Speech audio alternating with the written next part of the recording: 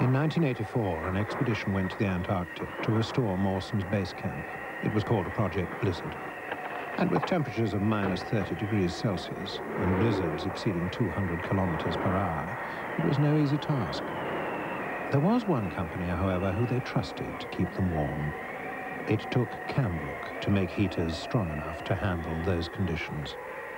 Kambrook electric heaters, the only ones chosen for the coldest place on Earth.